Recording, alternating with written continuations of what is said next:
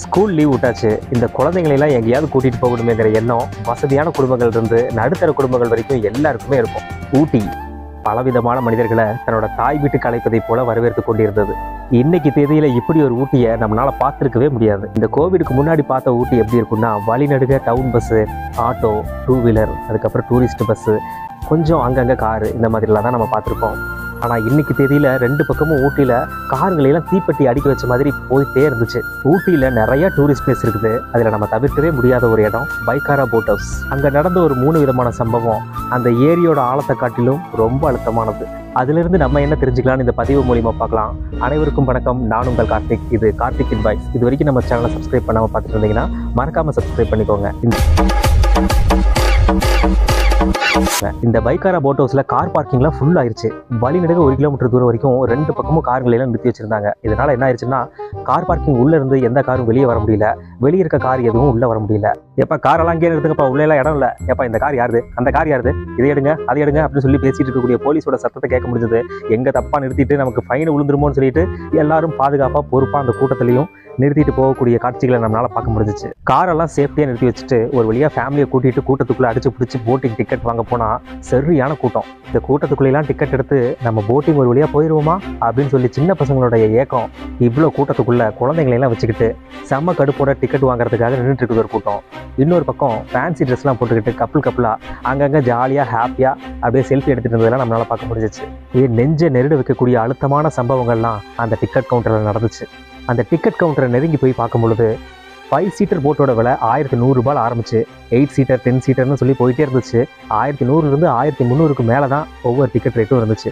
ஒரு சில குடும்பங்கள் அப்படியே நின்று அப்படியே ஸ்டக்காகி அந்த விலையை பார்த்துட்டு அப்படியே ஓரமாக ஒதுங்கி நின்னாங்க. அந்த டிக்கெட் விலையவே ஏக்கமாக பார்த்துட்டு ஒரு அப்பா ஒரு அம்மா ரெண்டு குழந்தைகள் நின்றுட்டு இருக்காங்க. ஆனால் யார் பார்த்து முன்னாடி டிக்கெட் எடுக்காமல் நின்றுட்டு இருக்கிறது கொஞ்சம் சீக்கிரம் எடுங்க கிளம்புங்க கிளம்புங்க அப்படின்னு சொல்லிட்டு பின்னாடி இருந்து ஒரு சத்தம் போடுறாங்க. என்ன சார் அநியாயமாக இருக்குது? இவ்வளோ வேலை போட்டிருக்கானுங்க இதுக்கு நம்ம குழந்தைகளை கூட்டிகிட்டு போய் எங்கேயாவது ஹோட்டலில் வாங்கி கொடுத்துடலாமேன்னு சொல்லிட்டு அந்த ஃபேமிலிக்குள்ளே பேசிக்கிட்டு அந்த குழந்தைங்களை எடுத்துகிட்டு வேணாங்கன்னு நம்ம வீட்டுக்கு போகலாம் நம்ம உனக்கு மேலே போயிட்டு நான் ஐஸ்கிரீம் வாங்கி தரேன் அது வாங்கி தரேன்னு சொல்லிட்டு பேசுகிறாங்க அந்த குழந்தைங்கள்லாம் காம்ப்ரமைஸே ஆகலை. ஏக்கத்தோடு அந்த போட்டையே பார்த்துட்டு இருந்ததுங்க. முதல்ல நின்றுட்டு இருந்தவங்க கேன்சல் பண்ணிட்டு போனோன்னே பின்னாடி நின்றுட்டு இருந்தவருக்கு ஆமாம்ல இவ்வளோ வேலை போட்டிருக்குது அப்படின்னு சொல்லி யோசிக்க ஆரம்பித்தார் இந்த ரெண்டாவது ஃபேமிலியில் ஒரு சின்ன பாப்பா அழகாக கவுன் போட்டு நின்றுட்டு இருக்குது. அவங்க அப்பாவே பார்த்துட்டு இருக்குது என்ன சொல்லுவாருன்னு பார்த்துட்டு.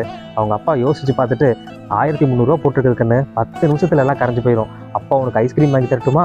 உனக்கு எதுவும் கோவம் இல்லையே அப்படின்னு சொல்லி கேட்குறாரு ஒரு நிமிஷம் அந்த பொண்ணு யோசிச்சு பார்த்துட்டு ஓகேப்பா எனக்கு ஐஸ்கிரீம் வாங்கி தருவீங்கல்ல? அப்போ வாங்க போகலாம் அப்படின்னு சொல்லிட்டு அந்த போட்டை திரும்பி கூட பார்க்கல. இந்த நடுத்தர குடும்பங்களில் பல பேருக்கு தெரியும் இந்த டிக்கெட் விலை ரொம்ப ஜாஸ்தின்னு சொல்லிட்டு அந்த குழந்தைங்களோட சந்தோஷம் தான் முக்கியம்னு சொல்லிட்டு கூட்டிகிட்டு போனவங்களும் இருந்தாங்க. கொஞ்சம் வசதியான குடும்பங்கள்லாம் அந்த டிக்கெட் விலையெல்லாம் பார்க்கவே இல்லை. இவ்வளோ நேரம் டைம் வேஸ்ட் ஆகுதுன்னு சொல்லிட்டு டைமிங்கே பார்த்துட்டு இருந்தாங்க.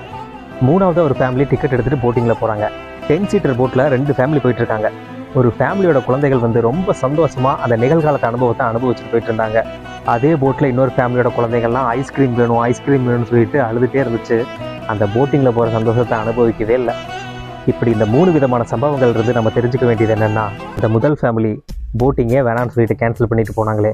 அவங்களோட குழந்தைகள்லாம் ரொம்ப ஏக்கத்தோடையும் போட்டில் போகக்கூடிய வாய்ப்பு கிடைச்சும் அந்த மூணாவதாக போன ஃபேமிலியோட குடும்பத்தில் இருக்கக்கூடிய குழந்தைகள்லாம் அழுதுகிட்டு இல்லாததொன்று நினச்சி இயங்கிக்கிட்டு இருந்தாங்க. இதில் யார் நிகழ்காலத்து சந்தோஷத்தை ரொம்ப நல்லா அனுபவிச்சாங்கன்னு பார்த்தோம்னா அந்த ரெண்டாவது ஃபேமிலியோட அப்பா கேன்சல் பண்ணாரு. வேணாம் பாப்பா நான் உனக்கு ஒரு ஐஸ்கிரீம் வாங்கி தரேன் அப்படின்னு சொல்லும்போது திரும்பி கூட அந்த போட்டை பார்க்காம நம்ம ஐஸ்கிரீம் சாப்பிட போகிறோம் அப்படின்னு சொல்லிட்டு தன்னோட எண்ணத்தை எல்லாம் அந்த ஐஸ்கிரீம் மேலே மாற்றிக்கிட்டு அப்படியே போய் அந்த ஐஸ்கிரீம் சாப்பிட போகிறேங்கிற ஒரே சந்தோஷத்தோட அந்த பாப்பா போச்சு. இப்போ நான் போய் ஐஸ்கிரீம் சாப்பிட போகிறேனே அப்படின்னு சொல்லிட்டு ரொம்ப ஹாப்பியாக போச்சு. அந்த குழந்தையும் நிகழ்காலத்து சந்தோஷத்தை ரொம்ப நல்லா அனுபவிச்சிச்சு. அந்த குழந்தைக்கு அப்பா போட்டை கேன்சல் பண்ணிட்டாருங்கிற கூடிய கவலையும் இல்லை ஏக்கமும் இல்லை. அதுக்கப்புறம் அந்த மூணாவதாக போன ஃபேமிலியில் ஒரு குழந்தை ஜாலியாக ஹாப்பியாக போயிட்டு இருந்ததுன்னு பார்த்தோமே அந்த குழந்தைக்கு கிடைச்ச வாய்ப்பை பயன்படுத்திக்கிட்டு ரொம்ப ஹாப்பியாக இருந்துச்சு. அந்த குழந்தையும் நிகழ்காலத்து சந்தோஷத்தை சூப்பராக என்ஜாய் பண்ணுச்சு. வசதியான குடும்பத்தில் இருக்கக்கூடிய குழந்தைகள் பெரும்பாலும் கவலையோடையும் வசதி இல்லாத குடும்பத்தில் இருக்கக்கூடிய குழந்தைகள் கிடைக்காத அந்த ஒன்று மேலே பெரிய ஏக்கத்தோடையும் எப்போதும் எந்த நிலைமையும் புரிஞ்சுக்கிட்டு சந்தோஷமாக வாழக்கூடிய குழந்தைகள் எல்லாம் கிடைக்காத ஒன்றுக்காக எந்த ஒரு ஏக்கமும் இல்லாமல் கேட்டது கிடைச்சதுக்கப்புறம் எந்த ஒரு கவலையும் இல்லாமல் ஒரு இடத்துக்கு போகலான்னு சொல்லி பிளான் பண்ணிட்டு திடீர்னு அது வேணாம்னு சொல்லி கேன்சல் பண்ணால் பெரியவங்கனாலேயே அதை தாங்கிக்க முடியாத நம்ம பார்த்துருப்போம். ஆனால் இந்த குழந்தைகள் அதை எவ்வளோ பக்குவமாக ஏற்றுக்குதுங்கிறத நம்ம பார்த்தோம்.